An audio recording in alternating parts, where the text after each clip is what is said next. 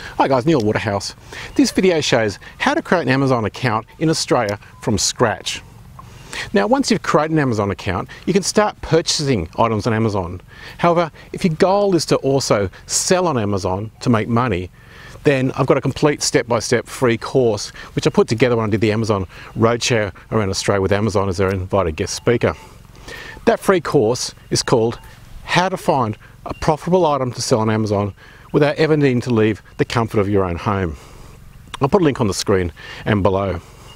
This video now is all about how to create an Amazon account from scratch and that is the very first step with Amazon before you can buy or sell. So let's launch straight into how to create an Amazon account in Australia. The first step is to go to amazon.com.au. Then mouse over where it says hello, sign in. As you mouse over, a drop-down menu will appear. And when it does, click on the hyperlink which says New Customer. Start here. Next, a box will appear where you need to enter your name and your email address, then your password. Then you need to enter your password a second time so Amazon can confirm your password. Then click the button that says Create your Amazon account. Next, you'll get a pop-up asking to verify your email address by entering an OTP.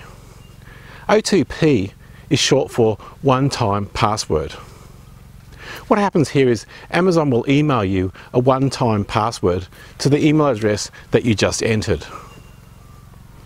In the email that Amazon sends you, it will contain a six-digit password. When you receive that password, copy and paste it then click on the verify button. That's it. Well done. You've just created an Amazon account in Australia. Now, before you can actually purchase anything, you'll need to enter your address and also your payment details. Now you can do that now or you can do it later when you're ready. But to do this, mouse over where it says account and lists. Then select your account.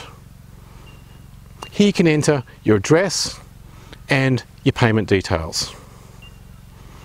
Hope that helped with how to create an Amazon account in Australia. And as I mentioned at the beginning of the video, if your goal is to sell items on Amazon, I'll put a link on the screen and below to a free step-by-step -step course showing you how to find profitable items to sell on Amazon. That's all for this week. Please scroll on down and leave me a comment below. And while you're there, make sure you hit the subscribe button for more no fluff hints, tips and automation strategies to make money on eBay and Amazon without leaving the comfort of your own home. Until next week, stay safe, list more, sell more. This is Neil Waterhouse.